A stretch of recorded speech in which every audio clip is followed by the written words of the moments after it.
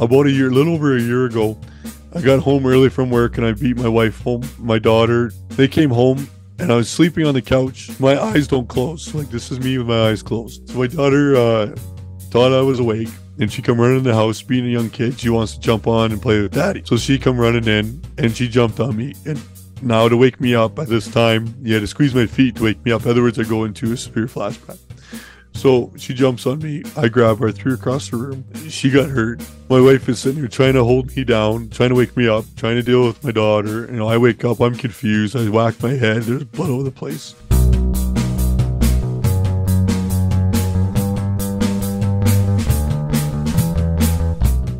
Hello, and welcome to another episode of Bunny Hugs and Mental Health. I am your host, Todd Rennebohm. This episode is sponsored by SUN, the Saskatchewan Union of Nurses, and it is so appreciated. Thank you so much, not just for sponsoring, but just for being nurses and being wonderful human beings. Much appreciated. Thank you for joining me and everyone else that's listening. This is an incredible episode. I mean, I say it all the time, and I mean it all the time. Uh, but th- this one's, um, oh man, Jeremy Evans is an incredible dude. Uh, I cannot wait for you to hear this story. Um, I mean, just the story alone of him and a bear is amazing. Um, but then the, wonderful things he's doing about PTSD and his plans to uh, um, to advocate for it and stuff. Uh, he's just a really great guy. Uh, great story, and yeah, a, a, strong survivor of not just a bear attack, but PTSD. So we're gonna hear all about that soon. But first, a bit of business. First off, I'm gonna I'm gonna talk about next week's episode. Uh, it is with three incredibly lovely ladies: Laura's Mud, Christy Mason, and Erin Jello. They all have worked with animals in the past, and uh, little did I know, veterinarians uh, it's a profession that's very, very high uh, for for suicide rates. Uh, so we talk about that, and we just talk about uh, animal health and animal health care, and and uh, just some of the mental health issues that people that work in that field uh, come across. It's something you never think about, but it happens a lot. And I open up a bit because I, when I was 18 years old, I worked in an animal shelter, and I was an 18 year old boy putting animals down. Uh, yeah. Anyway, we talk, and it's a really, really great conversation. That's another really incredible episode, so listen to that next week. Also, this coming Monday, April 17th, I will be doing an Instagram live uh, with a young lady, Bonnie Faith, and I don't remember what time it's at, but you can follow me at Bunny Hugs Podcast on Instagram, and I will be posted. On, I'll have it posted on there with times and stuff. Uh, she is a mental health advocate. She has bipolar too, and uh, she's come out with a new workbook thing. Anyway, it's going to be another really great conversation with another great person who's doing wonderful things. So that's Instagram on Monday night, April 17th. And in the weeks to follow, there's going to be all types of other great conversations with uh, people on the podcast and on Instagram. So please follow the podcast, listen to the podcast, tell people about the podcast, and rate and review the podcast. Please, it, I can't explain how important that is. And one more thing April 10th, two years ago, was the very first uh, episode was released of Bunny Hugs and Mental Health. So it's been two years of podcasting. Uh, for the first summer, I was only doing it every other week for a little bit, but uh, so the, the math doesn't quite work out, but uh, it's also the 90th episode. Uh, so that's really, really cool. I'm very proud. And uh, I'm very, very grateful for all the wonderful, wonderful guests and all the wonderful listeners and followers and, and all the support and, and everyone that's, you know, gotten something from the podcast. And uh, yeah, it's just been amazing. So that's two years of this and 90 episodes. So, anyway, let's listen to this 90th episode uh, with bear attack survivor and PTSD advocate and survivor Jeremy Evans. Oh, wait, I screwed that up. So without further ado, I give you Jeremy Evans.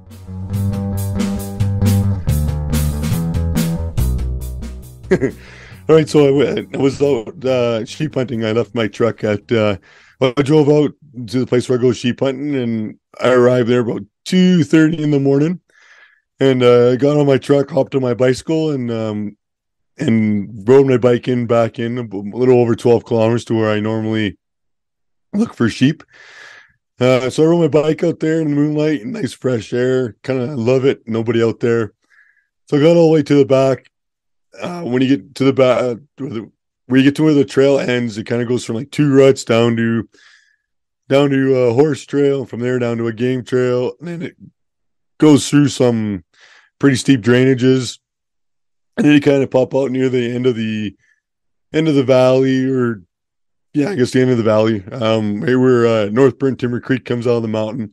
There's a nice little bowl in the back, and I, I spent all summer in there looking for sheep, and so I was head out there the day before opening day. What time of year just is so I that? can get Fall? this is August August 24th. Oh, okay. Yeah. so my whole plan was to spend four days out there. Uh, get there the day before sheep season opened up, uh, set up camp, find my ram, harvest them, and then hike out, and then have a day to relax before going back to work. Uh, so I'm out there. It's about oh, say nine in the morning, and I got up to one drainage there, and as I got up the drainage, there's the, the spruce trees kind of end, and then there's more short willows, and the trees are really short.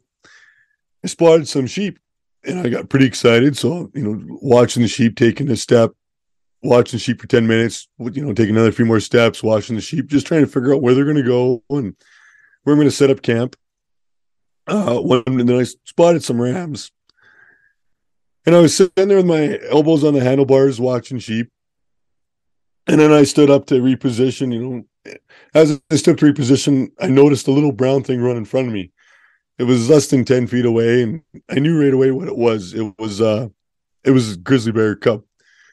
And it, i got this feeling of oh shit because there's the cub where is mama? And this thing was super close. So i was reaching out my backpack to grab my bear spray and as i was reaching down in there i heard a branch break over my right shoulder and as i turned to look there was mama she was less than an arm's reach away she had her right paw stretched straight out to grab me. I could see her teeth, her mouth was slightly open. You can see the whites of her eyes on the left side. And I really had like half a second to react. I uh, grabbed the frame of my bicycle and threw it in front of her and stepped aside.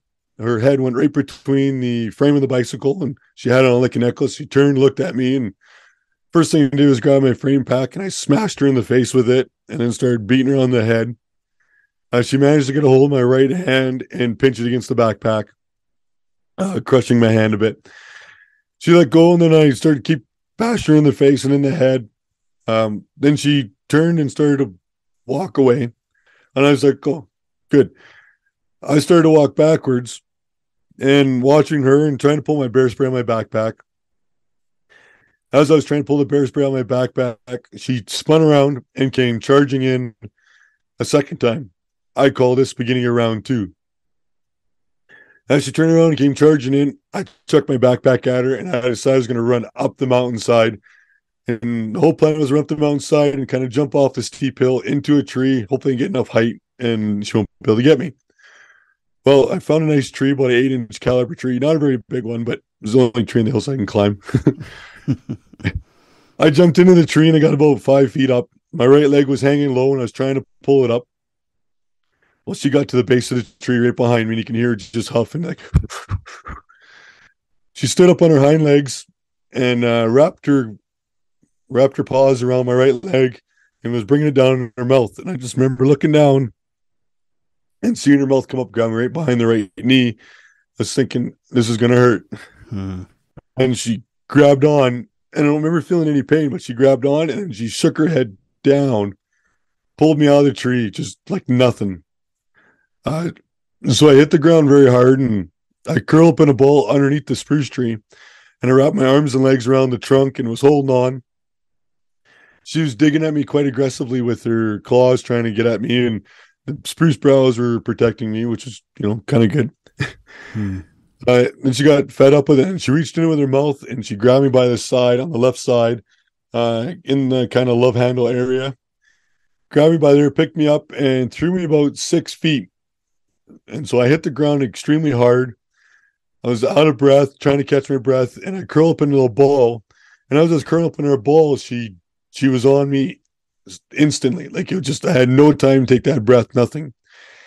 And then her first bite was on the left side of my face, her uh, canine teeth caught on either side of my eye, right up in the corner of my nose and my tear duct, then the other side of my eye, and she crunched down, crushing the whole left side of my face. Um, you know, that was the first bite, and I I remember sitting there thinking like, well, this sucks playing dead, right? Like chewing on me get, getting chewed on sucks. So I rolled over to my back, started punching her in the face with my right arm, poking her nose, poking her eye, grabbing her ear. She was snapping at my hands, and I was trying to you know, deter her from biting me. Uh, then she come down to bite me a second time in the face, and this was like a, it was like a great moment because way she came down, it was just a perfect. Her head was in a perfect position for me to punch my left hand into her mouth. And as I punched my left hand into her mouth, I remember feeling her tongue and had my fingers slide along her tongue and feel the bumps like leather and all the little scars and everything. Then my hand, I, well, I wrapped my fingers around her tongue and my index finger, middle finger went down into her throat, and I was holding on to her tongue for dear life. She started to gag and choke, making uh, like a kind of like a pig squeal or grunt, and gagging. Her uh, back legs were digging into the side of me, the right side of me, because she was over top. And I was trying to push her hindquarters to get her legs off of me. Yeah. And as I was doing that, my hand slipped and I hit the belly. And I knew it was the belly because you could tell by the thinner hair, more soft skin. I reached up and grabbed at the time what I thought was balls. It was just basically a big hunk of loose skin. I grabbed that, twisted and pulled, and she made a horrible sound, just like a pig, like a, and then started squealing like a deep pig. Hand in her mouth, whenever I had it, it was causing her pain. And I was holding on, squeezing. And then I felt comfortable enough that I let, I let go.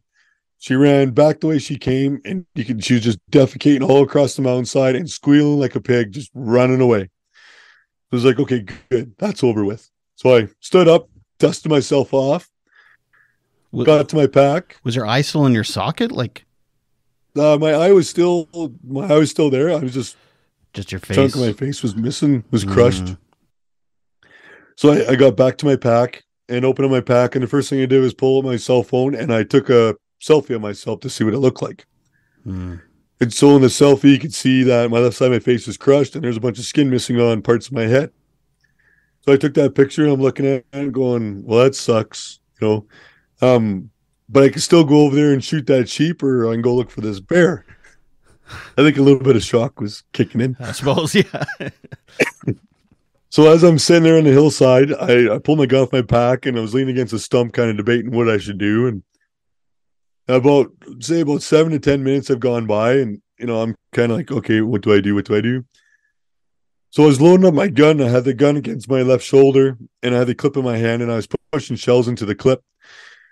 As I was doing that, I heard a sound of ice breaking, and my arms just dropped to my side. Everything went numb she had come back and grabbed me by the back of the skull and she started to drag me back into the bush.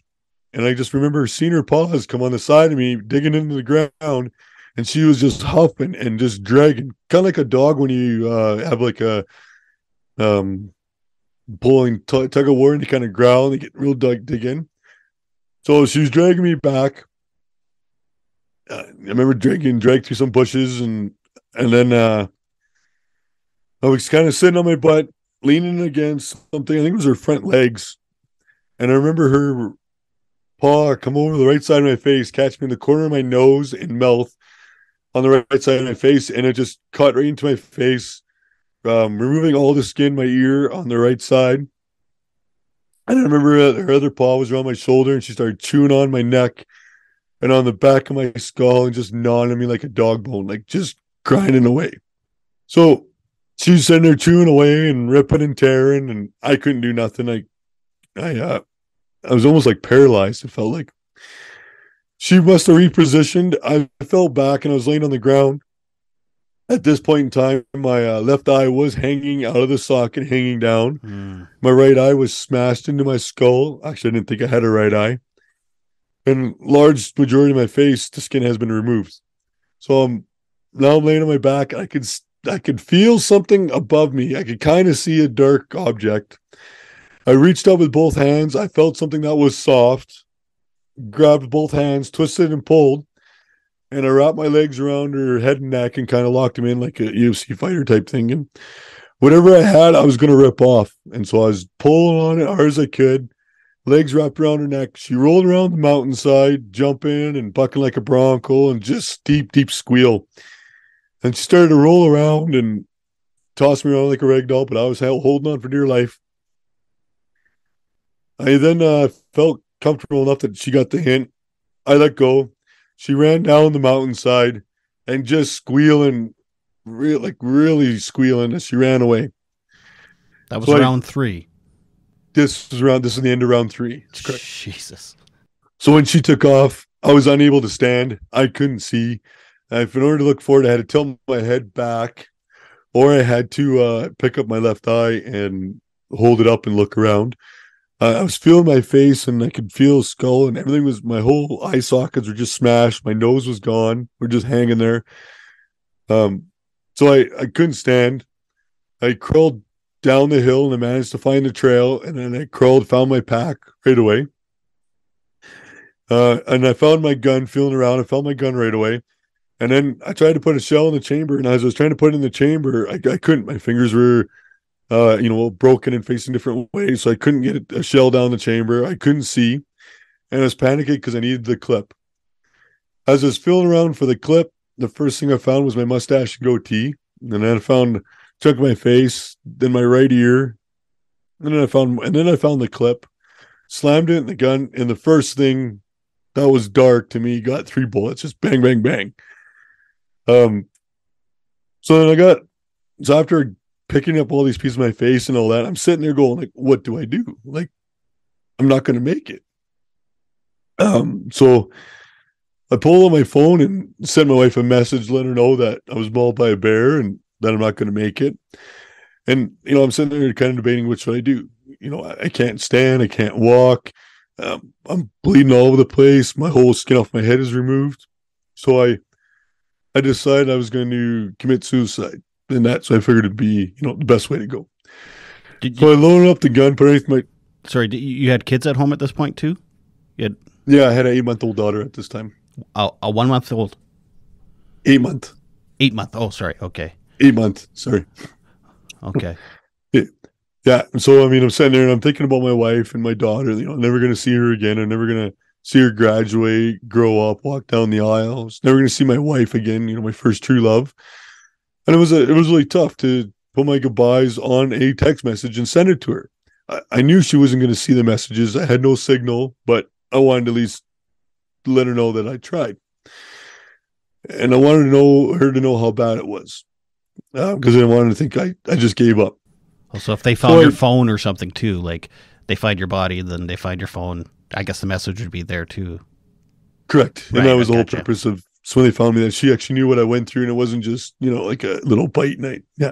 Right. Um, so I'm sitting there kind of debating, you know, well, I just made my decision and I loaded up the gun and stuck the butt of the gun against the ground and the barrel against my chin and I pulled the trigger.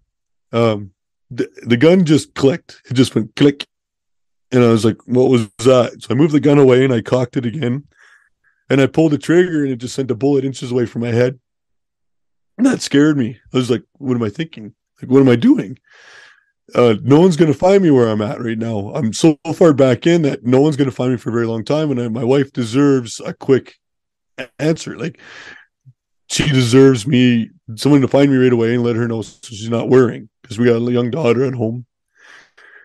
So then I decided that, made the decision that uh, I'm going to try to make it to the next trail, make it across the drainage where more people go.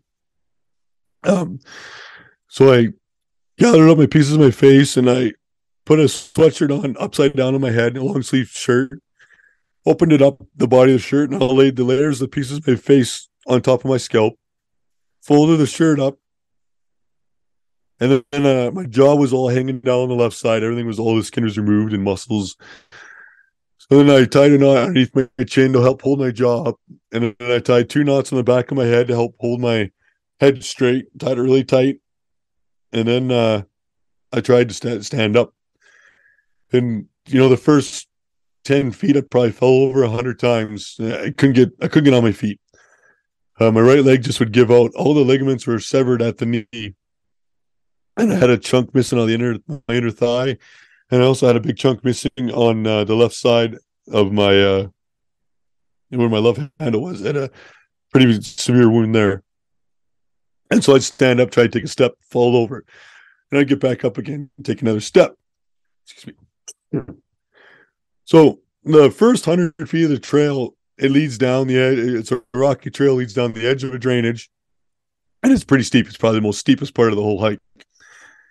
So I started making my way down there, and I lost my footing, and I tumbled head over heels all the way down to the bottom of the drainage, you know, a few hundred feet, all the way down, down over this little cliff and into some massive boulders.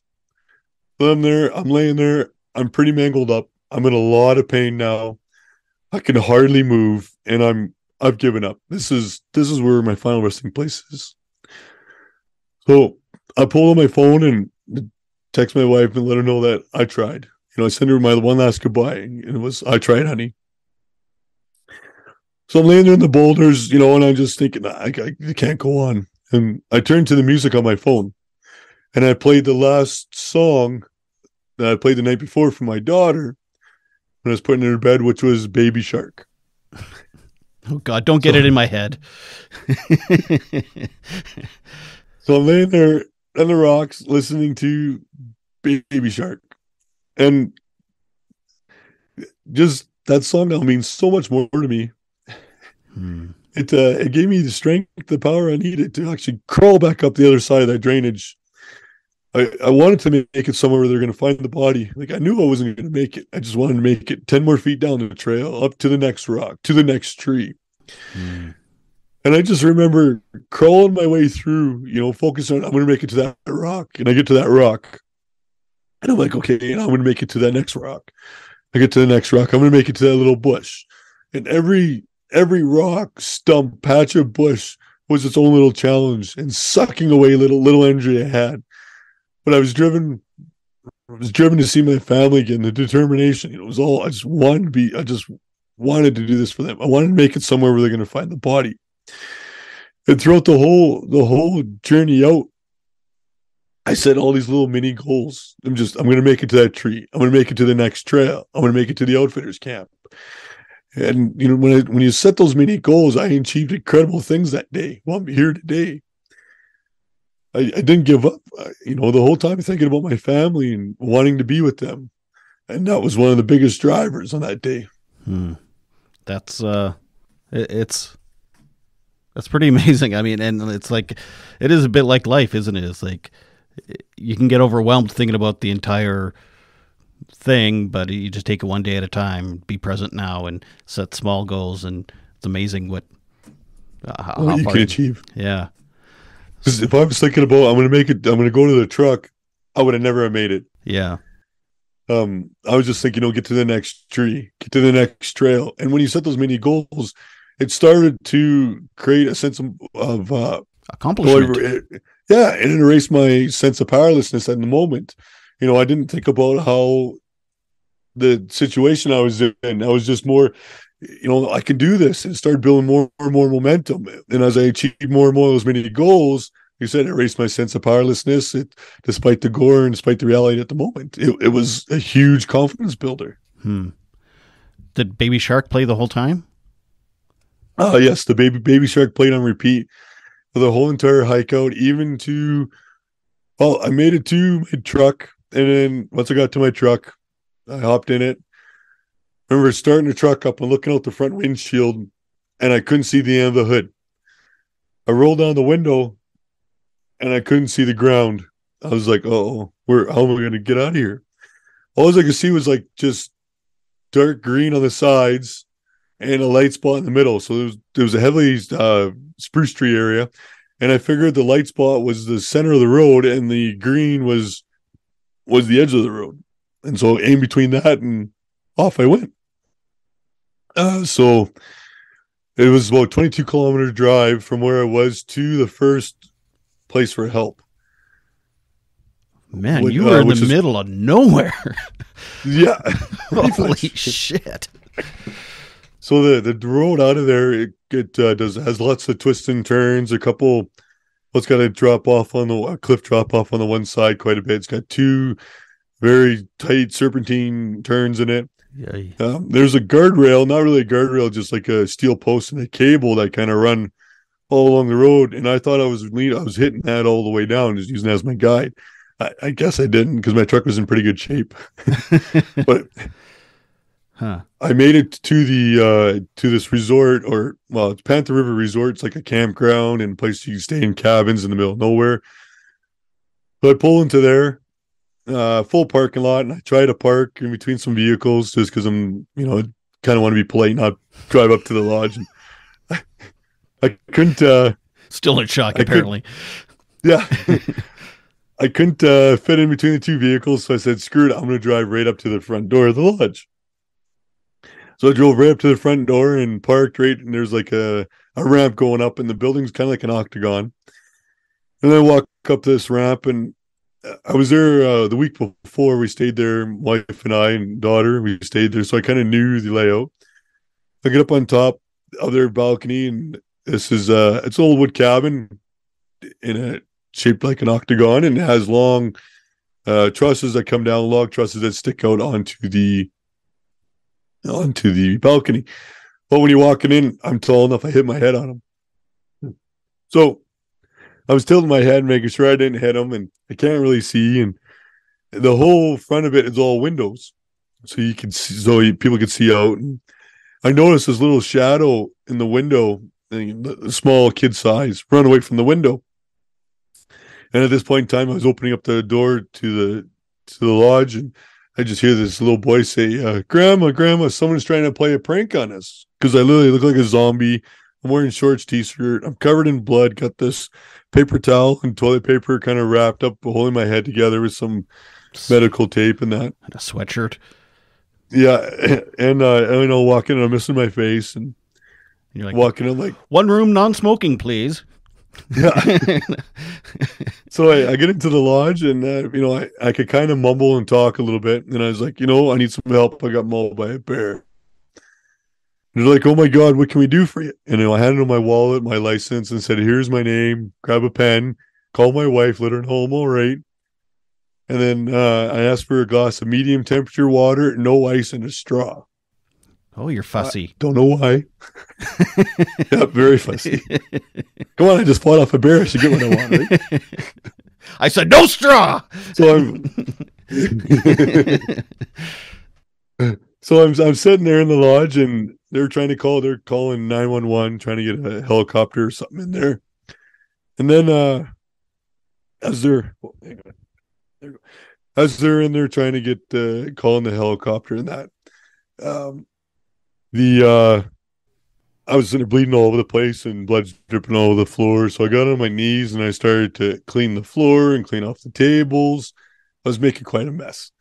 Uh, so I was as I was cleaning up the leg, I was like, "What are you doing? Like, get up!" Like, you know, and um, and then they they took me out of there, threw me in my truck, and from there they decided that they were going to move me to the back side of the lodge in my truck to wait for the helicopter.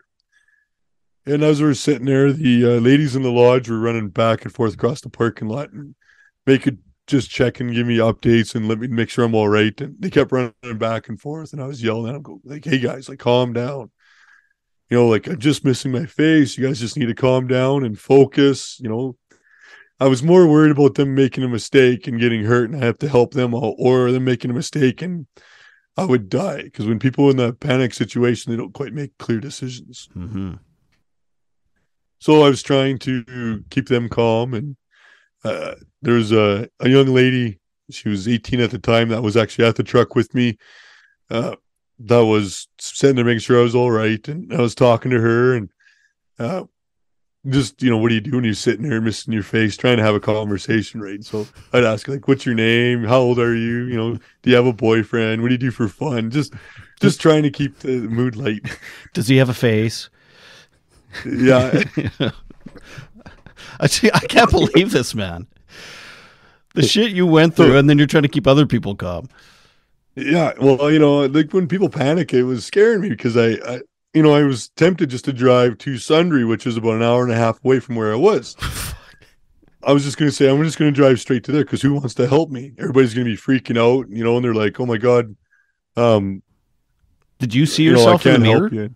like in your rearview No. mirror or anything? You avoided on No, purpose. I did. I ripped my mirror off and and removed the window because I Uh, the, the side mirror. I knew it wasn't good. otherwise, you'd be like them. You'd be panicking like that. Yeah. Hmm. And, and so the uh, the one lady came and said, you know, her STARS wasn't coming out, but her father was. He owned a helicopter, and he was coming out to do uh, uh, to fly out to pick me up, take me to Sundre. Hmm. So she's like, he'll be here in about half hour, forty five minutes. And I'm like, okay, no problem. So I got out of the truck and I uh, I gra- tried to grab my fishing rod out of the back, and I was going to go do some fishing because there's there's a stream there. It's got great bull trout fishing. Heck, if I'm going to wait 45 minutes for a helicopter, I'm gonna at least do some fishing. Fucking one track mind. That's right. You know, I just I wanted to go and to do that. Well, you know, I'm it's so I'm trying to get my rod out, and the one lady's like, "What are you doing?" I'm like, "I want to go fishing." She's like, "No, you're not. Get back in the damn truck." I'm like, "No, I'm going to go fishing." I took three days He's off like, work for this. You know. That's right. She's like, get back in your truck. All right. So I got back in my truck and, and I was sitting there like, well, can we take my boots off? You know, because my feet kind of hurt. And she's like, no, just sit there. Just like, can you just like calm down and wait? Registered nurses are on the front lines of this nursing crisis right now. I feel like we don't have all of the resources and the tools and the staff to ensure patient safety 100% of the time. Everyone is trying their best, but it's not sustainable the way we're going right now. There needs to be something changing. The nurses across Saskatchewan need to be involved in conversations with the government to try and find solutions. We have ideas, we just need to be involved. This has been a message from the Saskatchewan Union of Nurses. So the helicopter arrives and uh, I walk over, hop in the helicopter in the back, and it was really fancy. From what I could tell, the helicopter was really fancy. Um, like like top of the line, it had like six seats in it, big helicopter. So they got this tarp in there, and they helped me get in. So I'm in the helicopter, and uh, you know they normally put the earmuffs over you. And, well, I couldn't hear, so I didn't have any ears. They didn't give me the earmuffs, so it was quite loud. I remember the helicopter taking off, and I was really trying to look out the window because I haven't been in a helicopter in the mountains in a while, right? So I was like trying to focus and look out the window, and, and I was just really like staring out the window, trying to get a glimpse of what it looked like, but I can't see, and everything's you know so blurry. And Do you still have an eye dangling? yeah, yeah. oh yeah, my left eye was still dangling out. My right eye, I thought it was completely gone. So I, like I couldn't really see what was going on. So I'm trying to look out the window, and I was leaning over trying to look out the window, and I'd feel this poke in my right side, really hard poke. And I turn and look, and it was uh, Amanda, the lady at the lodge. She was poking me. As I turned my head to look at her, she'd pull this tarp up high, and I wouldn't be able to see her face. Like, what the f- what what's going on? So then I go back out, look out the window, and then I get this large jab on the side again. I turn my head, and there she is holding the tarp up again. I'm like, what are we playing peekaboo here? Like, leave me alone. I'm just trying to look out the window. Well, what it turns out was she thought I was passing out, so she's trying to wake me up. And then when I turned to look at her, blood would squirt out, and she was holding the tarp up to cover herself. But to me, it just looked like she was trying to play peekaboo. Good lord. So, so anyways, we land in uh, Sundre, and uh, I could tell there's people outside that helicopter. Everybody looked like they're just like lollygagging, just kind of like standing there, like doot doot, like you know, no one's in a rush. They open up the door to the helicopter on my side, and I remember I turned and looked, and I said hi, and then shock set in. People started going crazy. Uh, one of the doctors tried cutting in the back of the helicopter around the other side of the helicopter, but there's an open tail rotor. So Mm. Amanda, she jumps out, dives, tackles, tackles this helicopter or tackles the doctor, trying to hold him down, trying to fight with him because, uh, You'd get his head cut off. yeah, and she's like, "There's an open tail rotor, like wait till it stops," and and everybody's trying to pull me out. So she's yelling at the doctors and nurses, saying like, you know, he can get out, he got in, just leave him be. I'm trying to get my leg out. And at this point in time, my right leg was uh, totally straight, seized straight. I couldn't bend it. I was trying to get over the seat, and everybody, you know, trying to grab and drag me out. And then I just feel these two little arms come underneath my chest, underneath my armpits, around my chest, and pick me up from behind. This uh, little nurse climbed in the back of the helicopter, wrapped her arms around me, and just slid me right out like nothing. Hmm. So they threw me in a gurney, and off I was there in Sundre. I wasn't there very long, probably 20 minutes, half hour. They got things all kind of stable or figured out what to do. And then they threw me in an ambulance to Calgary. How far a drive is that? Uh, it's about an hour and a half ish. Oh, okay. That's not so bad. So not so bad. So I was attacked at 9:36 a.m. I made it to hospital that night at 9:17 at night. Uh, How long did it take you to get from, like, from the end of the bear attack to to the the lodge? How long was that? So I made it to the lodge about uh was it uh about 4:30? So it was like six hours it took you to get out of the woods. Well, I was, a little over 12 kilometers in the bush. And I can crawl out. Good God, man! I, I'm just sitting here trying to think would would I have made it or would I have?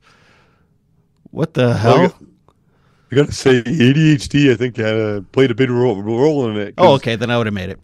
As, a, as, a, yeah, as an ADHD person, you can't wait for things to happen. You got to make it happen. Right? You're too impatient to die. yeah, like like I'm gonna die. Like let's, I gotta die like now. I can't wait for this. Right? Like it's, I think you know. Well, I mean, One hyper focus too, right? It was like the Yeah. hyper focus of getting out of there. I mean, you know, all jokes aside, I think you know ADHD may had a little bit of play in there. Uh, I'm mo- mostly the drive of my family and everything, but Yeah. um, yeah, I think that being hyper focused and the fact that you can't sit still, you got to always be doing something. You know, Jesus. Huh. Yeah, that would be a long wait sitting in your truck with a stranger for 45 minutes waiting for a helicopter. Maybe maybe maybe she should have just let you go fishing.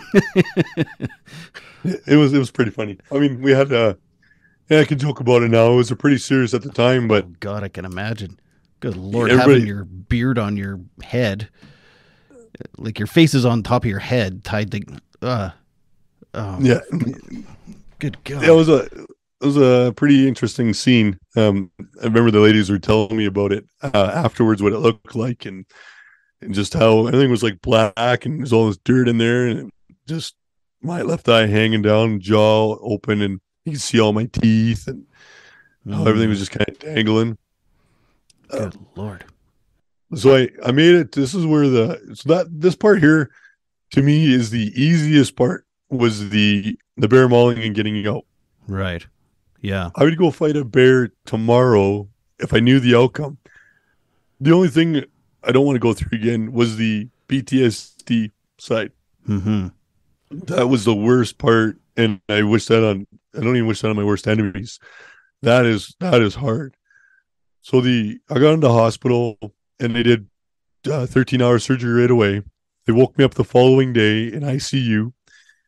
And from the moment they woke me up to every time I went to go to sleep, I would wake up in major flashbacks. You know, the bear was coming back. The bear was going to get me. So I'll be, you know, trying to grab things, trying to pull tubes out, just totally reacting. Of course, people would touch my chest and that, and I just started hitting them or grabbing them because it's just like what the bear did. I have a, a very good friend. He was there from day one with my wife. And what he would do every time I'd have a nightmare flashback, he would massage my feet. He would squeeze my feet and he'd be like, You're in a safe place. You're in a safe place. And that would help me get out of the nightmares or the flashbacks. Hmm. So throughout throughout the hospital stay, I had to have somebody with me 24 7 to help get me out of those. It'd be then the strangest things would set it off, like an ice machine. They had one in the hallway, and every time that would go off, I would go right into a flashback because it sounds like your skull being crushed. Jesus. So it was a it was a huge struggle. Uh, I had a sister that used to stay with me at night, and she'd be there all night long. And of course, as soon as I go into a flashback, she would massage my feet, squeeze my feet, take me out. Like I'm a a fairly large individual. I'm six foot two, and I was probably about 250 pounds when I got mauled. It was in pretty good shape, so I was. It's pretty hard to stop someone like me swinging around. Uh, we had signs on me, signs on the walls that if I'm in a flashback, squeeze my feet because I've hit a few nurses, a few doctors because you know I go into a flashback and they don't know what to do. Uh, that was really hard. So I was in the hospital a total of five weeks. in one day, um, once I got out of the hospital at home, you know, flashbacks every time I go take a nap, everything just constantly. Uh, from day one in the hospital, I asked for psychiatric help. I knew I wasn't able to get past this on my own. I was already seeing somebody for ADHD, uh, and I knew, I, I, knew I needed help. I knew I wasn't going to be able to get past this on my own because after you know I saw a therapist with ADHD and how much of a change it made in me, I wasn't going to recover on my own. I needed that help. Hmm. I bet. So, so from day one, I had a, we got a, a therapist there we worked through a lot of things. Like I didn't want to look at myself in the mirror. We actually covered up all the mirrors and everything in the hospital room. I actually I didn't look in the mirror till mid September. That was the first time I ever looked in the mirror. And mm. on that day, we planned that day. The nurses there in the hospital worked together. They cut my hair for me. They trimmed up my beard, my face. Uh, I didn't have any stitches in my face at that time because this was mid September, about three weeks after the bear mauling. So they made me look really good. My wife got me a nice plaid shirt and uh, they dressed me up. Therapist came in and what we did was we uh they took my phone and they took a picture of me or the iPad took a picture of me and then we I had a lot of support and a lot of friends there and looked at it for the first time and I was in shock, you know. Um I actually looked pretty good. I was I thought I had all kinds of things missing, and because mm. you feel around, nothing feels the same. Like to have no feeling, mm-hmm. you know. you see all the staples are pulling out, so um, it, that was good just to have that support. Hmm. Yeah, I mean, I I don't know what you look like before, but that's probably an improvement. Well, no, you know, my I'm left side it. here looks pretty good. I'm kidding. but what a story you have now. Oh Lord! Yeah. So I, I, so how many years ago was that? This was a little over five years ago. So, well, how did you how did you get through the PTSD? Like, how long did that last? To the, like, I mean, I, I suppose it's a spectrum, right? From like flipping out every time you nap to, um, you know, I'm I'm I'm assuming you're still having issues. Actually, today I'm doing pretty good. Uh, so throughout several years after the attack, we figured out when most of the triggers were. At the time, I worked at a slaughterhouse, and the first time I smelled blood, I went into a flashback. Mm. And so, hmm. okay, there's a trigger. I would keep a, a, daily journal and keep track of what the stresses were, what things I did for help possible triggers. And if I had nightmares, I write down what the nightmare was about, um, what happened, what I did that day, what did I eat.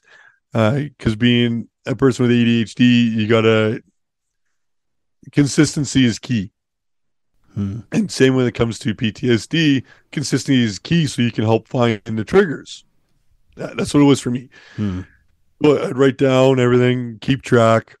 Uh, and then I'd look at it back with my therapist. We'd go through it and see, oh, okay, so the sound of plastic breaking or ice pushes you into flashbacks. Now train your brain to change that from your skull cracking to actually what it is and just avoiding those areas, avoiding the blood, the smell. Just you know, there's lots of things we talk about and and try to figure out the triggers. For the first three years, it was we kind of got under control, and then it started getting really bad again. Uh, we didn't know why. Um, it's the strangest of things. It ended up being that I was working out and that was causing me to have severe flashbacks. And it was to the point where I was only sleeping about 12 hours a week. Hmm. I couldn't get every time I'd close my eyes, bang, and wake up right away. And it was weird. Um, before the attack, the year I got mauled, I I was uh, had a personal trainer. I was getting into shape, and that's what I did. Well, now you know, four years later, three and a half years later, I'm trying to get back into shape again because I got out of shape due to the recovery and trying to. So, who knew that that would be a trigger? It, it's strange how PTSD works. Mm-hmm. So when we figured that one out, then it was trying to how do you treat that or how do you get past that? Um, where it hit an all time low for me was uh, about a year, a little over a year ago. I got home early from work and I beat my wife home, and uh, my daughter, she's still pretty young. They came home and I was sleeping on the couch. I, well, I fell asleep on the couch. My eyes don't close. Like this is me with my eyes closed. Hmm. it's uh it's great for babysitting. you can work security. That's right. so my daughter uh, thought I was awake, and she come running in the house, being a young kid. She wants to jump on and play with daddy. Oh no! So she come running in, and she jumped on me. And now to wake me up at this time, you had to squeeze my feet to wake me up. Otherwise, I go into a severe flashback. So she jumps on me. I grab her, threw her across the room. Mm. She got hurt. My wife is sitting there trying to hold me down, trying to wake me up, trying to deal with my daughter. You know, I wake up, I'm confused. I whack my head. There's blood over the place, and I'm don't know where I am. You know, the bear's coming, and I I wake up confused, and that was very very hard. That was like a very scary moment for me. Mm-hmm. This can't be how you know life goes on, right? Mm-hmm. Yeah. I made an appointment right away with my therapist, let her know, like, you know, this is we need I need to do we need to do something. We need to try something different. And she was researching, I was researching, uh, managed to get into this program called ART, Accelerated Resolution Therapy, which is uh, rapid eye movement and voluntary image replacement. ART is a short term accelerated resolution therapy. Okay. And it it uh you know I, I was going to give it a try. So we got into the session, and this is where this is where keeping an open mind is very helpful because you get in there, and what they do is they basically wave a hand in front of your face, and you replay the scene in your head. At first, I'm sitting there thinking, "What the heck is this? Like, is this voodoo magic? Like, you know, you wave a hand in front of my face. What's it going to do?" Uh, but if you think like that, it's not going to help you. Mm-hmm. I just, you know, like let's give it a try. Let's try it. Let's try to focus exactly on what they're telling me. And that's what I did. I did the the first session was 45 minutes. That night I slept for seven to eight hours straight, no nightmares. Hmm. None. Total shock to me. It was it was totally changed my life. I did three total sessions over two and a half months.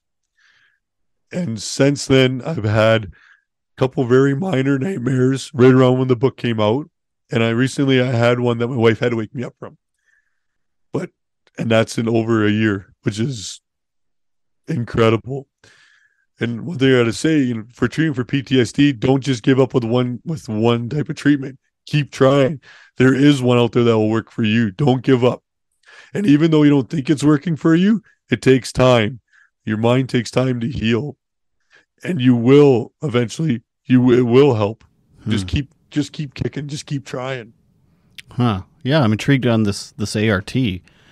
Like uh, I've heard have you heard of EMDR? It's like eye Yeah, movement yeah. thing too. Is like you go you I, I I'm interviewing someone uh, in a couple weeks about it too. She's a like that's her mode of therapy she gives people. So I, I'm looking forward to that because uh, I've heard of it many times and I don't understand it. Um, so this ART, like, the, you- so you have to. Re- it's basically you have to relive the trauma. Then you're sitting there, they're telling you to, as a as a, which is like, you want to do the opposite, right? You're like you, um, I don't want to think about the shit anymore. Like, so now they're making you, while they're waving Well, their hand the- in your face. yeah and it's weird but they said to think about it as if you're like in a drone or or if you want to be there on the scene. So think about you're in a drone and somebody else fighting the bear you're controlling it or you're the guy fighting the bear. And then they go through like go through the first 20 minutes of the attack. And then they stop you know like do you feel any kind of anxiety or any pressure anywhere? And you're like yeah i feel a little bit in my chest. Okay well think about that pressure think about what it feels like and then they wave a hand in front of your face again and then you just breathe they tell you to breathe into that space and think about that and then after a couple minutes they say do you still have it or did it move somewhere else well yes now it's in my right leg just using as an Mm, example mhm. so breathe into that space, think about it, and process it. And, and it's really weird. And it, like I said, it was, I was totally amazed. Um, Hmm. Totally, totally a game changer for me. And what one of one of the things that uh, kind of proved it was me and my daughter were playing uh, big game Cabela's Hunter, or Cabela's Big Game Hunter, and we're chasing caribou up in Alaska. And I haven't played this game in many many years. So as you're playing this game, a grizzly bear pops out, jumps on you, and starts ripping and tearing at your face. So I'm sitting there playing this. My wife is there. This bear jumps out. You know, I fight the bear off, and I'm like, yeah, time to turn this game off. You know, put it away. Hmm. That night, my wife stayed up all night thinking that was going to be a rough night, but I slept solid throughout the night. Hmm. When before, if a bear came on screen or a sound of one, I wouldn't sleep that night. And so that was, you know, that's how effective it was for me. Hmm. My therapist told me I shouldn't play that game after that. She recommend you just that one out. Don't uh, don't keep testing yourself. Uh, my wife does a thing called body talk, and it's uh, it's it's also very weird, and you have to kind of have an open mind, and it's um, it's kind of similar. It's like your body will physically hold in different spots trauma and stuff, and then they do like this tappy thing, and I don't know what the hell she does, but it, it's kind of like voodoo witch magic stuff too. But but it's amazing, yeah. Like uh, yeah, it's same thing. It's like some people just absolutely swear by it, and it's amazing. Like who fucking knows what works or how your brain works or what the hell happens? yeah, and I like to describe it as uh, like nowadays electronics. You got to hold like three different buttons down to reset a clock or something. Right, right. yeah. and it's so difficult yet like with this art it was like the same thing they're trying to reset your brain so you know like put your left leg in the air do the hokey pokey like it's it's weird how it works but it was very effective for me Good, good. Oh, that's amazing. Uh, so, so what kind of if you get on the if you get your five million and you you get uh, the, get on the board for uh, PTSD research, is there some things that are already in mind that you wanna you, you wanna look into? well i'd like to look into more the uh, treatment and a little bit of research side so uh, how uh, endowed chair position works at a university. Is uh, you pick the, the kind of study that you want to go into or you want the chair to go into. And i'm picking on for ptsd research on ptsd and treatment for individuals with the uh, say with adhd or different levels the chemical levels in their brain i don't have the i can't pronounce all the scientific words for it but i'm working on that I'm just a chair. yeah. Well, I, I'm not the chair. I'm just Oh, the right, one that I'm trying to raise the money, and then once the money is raised, and you get a and then it's endowed, which means the money is there forever. Hmm. Uh, they don't touch the five million. All the money generated off the five million of it being invested runs the department for the research. Gotcha. So when they so then they go into a process of hiring a chair member, and the chair member will carry on the will drive the research and can go out and get more funding to help fund the project or fund the research.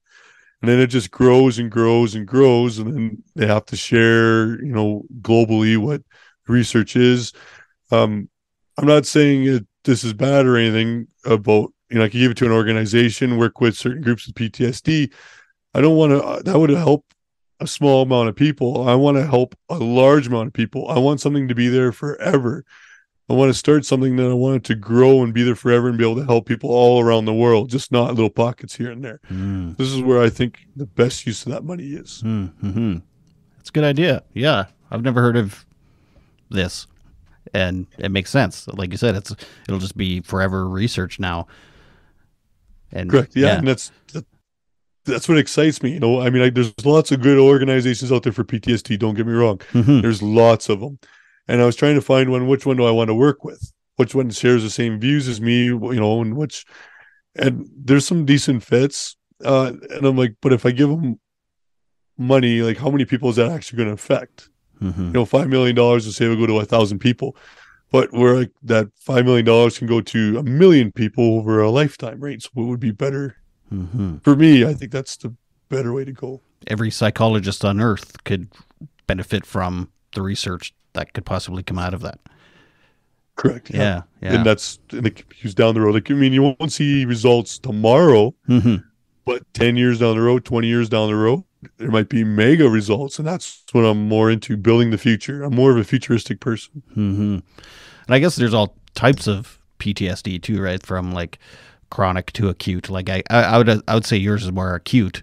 It was like a, it was, you know, super traumatic in a, like a ten minute span, where other people like for ten years or an, an abusive, uh, you know, relationships and all types of stuff, and then. So then that might be a different type of treatment would work for them, or as opposed to an acute kind of trauma. Correct, and then al- and also too, I think I think that uh, like your serotonin and dopamine in your brain may play play a part of it too. Like if you're ADHD, are you going to have the same treatment as a non-ADHD person with trauma? Because each person deals with it differently, and so I'm I'm kind of interested in like the the chemical levels in your brain, how that affects treatment. Does it? Mhm. Is there different ways we need to approach it? And so that's where that intrigues me, and because I have ADHD, that's one of the areas I think you know there's a lot of ADHD people that suffer from trauma, and there needs to be more research and more help for those individuals. I'm not saying that war vets or anything don't need treatment, but Mhm. this is just kind of more the area I want to go towards. So having ADHD and being trying to recover from PTSD was it? Do they, do they say it's harder for people with ADHD to recover from PTSD, or is it just different? E- e- each person is different. Hmm. Um, you know, all I was gonna say is, as an ADHD person, you want to give up when things get tough. It's all or nothing, That's- baby. that's- yeah, you got to go and and keep an open mind. It's really hard to keep an open mind when you're doing some of these things because as an ADHD person, your mind's running that 1,200 to 1,800 words a minute. You know, someone's waving a hand in front of your face. You're thinking, "This is hokey. Get out of here. I don't trust you." hurry, Right? hurry up You and cure me. That's right. You just you just got to take that deep breath and relax and trust them. They're they're experts in their field for a reason, and keep an open mind. And it's very very tough as an ADHD person. Uh, Trust me, it's very tough. yeah, I found that with in recovery with addiction. It was like, okay, I quit drinking. Why aren't I feeling better? And it's like I was sober for a week. You know, it's like, oh, oh, fuck, it takes years. Ah, God damn it. uh, I'm feeling much better now, though. Uh, That's good. That's good. uh, so, I, are you are you are you happy with the way you look and your your your wife isn't like doesn't look at you weird like you know what I mean like because that would be a, a a bit of a a mind fuck too is like looking in the mirror and not accepting your new appearance and and uh, you know that, that was very tough because on the right side of my skull here, there's two divots in my skull, hmm, and they're down. They were down about seven and eight millimeters. Right, so there, uh, there's bone and plate there, and this the skin when scalp was moved right off my skull, so they're exposed bone. And during the time in the hospital, they were trying to patch it up, and uh, they moved a piece of my head over, and that skin started, or the that patch of flesh started to die. So they put it back, and then they just covered it with skin graft. hmm. Well, those two divots used to bother me quite a bit. I look in the mirror, you know, when you take a shower and water would build up in them, and then they're like purple and ugly, and uh, those used to give me some anxiety. Um, you know, my face looking used to bug me. I wore a hat or a or like a neck gaiter over my head to cover it for quite a while, and now I'm like, whatever. I get half price haircuts. You know, like it's there's just so many things you can look th- that come out of the good out of it. So uh, I don't I don't wear a hat much anymore.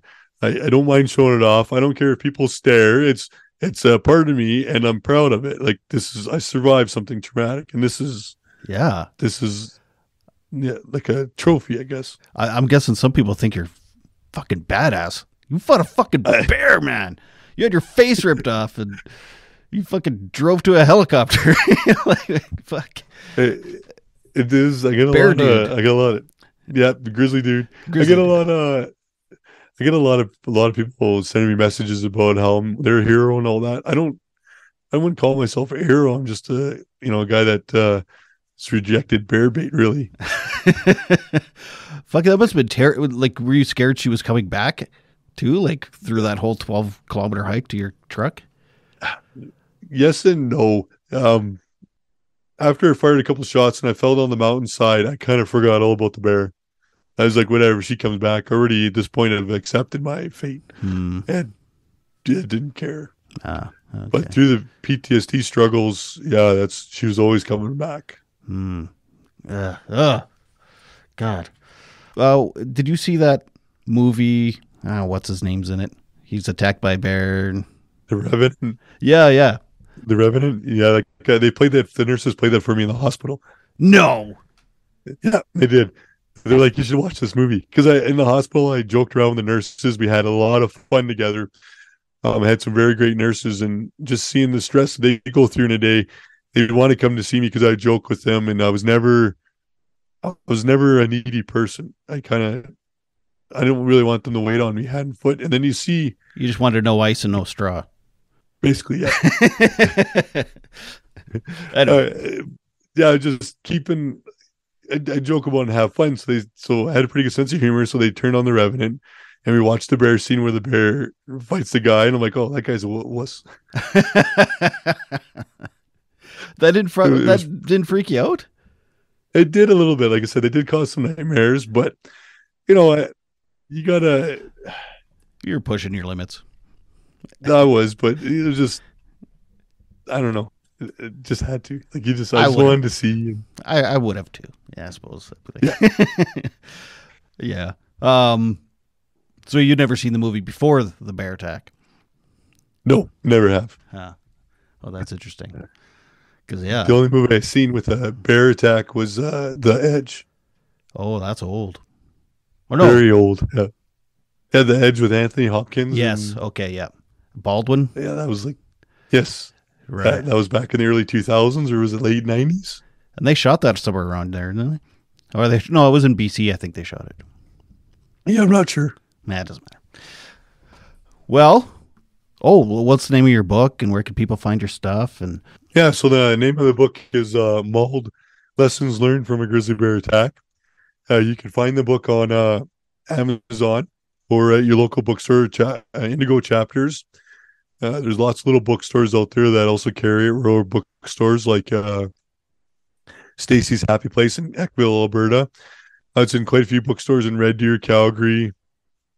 You can also buy the book, a signed copy of the book on my webpage at grizzlydude.ca and there you get a, a signed copy of the book and then you get some you get a fancy bookmark with uh all my all my sayings like you know you're unbearably awesome. You could you could bear it even when you think you can't uh the bare necessities. teddy yeah, oh, that's a good one. Um i have another one like not all teddy bears are friendly. And then remember don't poke the bear you, you gotta have fun with it yeah.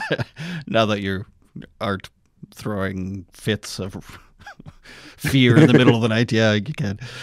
I suppose. I mean, I guess even then you were probably having some some fun with it. Oh, I totally. I you gotta have fun with it. I mean, it, it is a tragic thing, and I use humor to help uh, cope with things. So that that was one of the one of the other things is you know keep a smile on your face and always think of the good things. Right. Don't focus on the bad.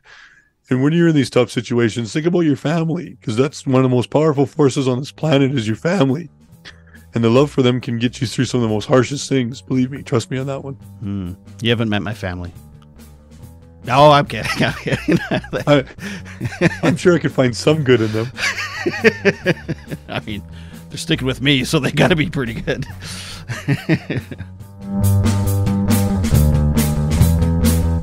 Thank you so much, Jeremy. What a great man you are. You're just so pleasant. uh, actually, Jeremy and I have been, uh, well, I say this quite often, but uh, I've made a new friend. And uh, it's it's really great. Uh, we've swapped books. Uh, his is Mauled Lessons Learned from a Grizzly Bear Attack. There's got to be an easier way to learn a lesson. But anyway, uh, him and I are actually planning on doing some speaking together, and uh, we're working on on that. Uh, we're both ADHD, so uh, you know, we'll see if it actually works out. But uh, I, I we really want to do that. So anyway, uh, great guy. Thanks, Jeremy. And I, I can't wait to see you raise $5 million. Anywho, don't forget, next week I'm speaking with Laura, Aaron, and Christy. Uh, we're talking about um, people that work in with animals and, and their mental health and their mental well-being because it's, extremely stressful. So yeah, that's next week. Also, this coming Monday, April 17th, I'm speaking with Bonnie Faith on Instagram Live. And hey, if you like mental health podcasts and you, you want to check another one out, please feel free to check this one out. It's called Feel Free, and it's a general wellness podcast run by John Cerrone, a recovering addict with a mission to help people better understand their habits so they can achieve their true potential in order to chase their dreams. with the help of some charismatic guests. The topics and conversations covered range from addiction, diet, exercise, burnout, to mental health, and so much more. Uh, and that's with John Cerrone, and he's going to be on the podcast uh, in the coming weeks. And uh, you never know, I might make an appearance on his. So um, be sure to you know support support other mental health podcasts as well. Thanks again to Sun, Saskatchewan Union of Nurses, and thank you for listening. And please remember to to tell other people about the podcast. Lots of people are, are relating with my guests and are learning lots, and uh, you know it's it's helping lots of people. So uh, so please help someone else and tell tell someone about the podcast. And also please don't forget to make your beds and take your meds. Bye.